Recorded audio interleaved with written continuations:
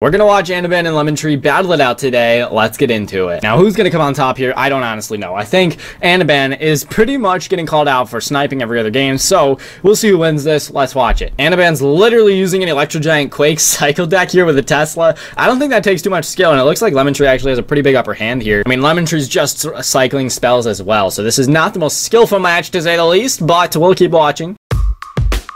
There's literally only 50 seconds left. Wow, and Anaban has not got the lead by any means. He's quite far behind, actually.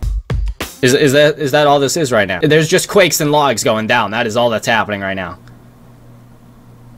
No way Anaban wins this, dude.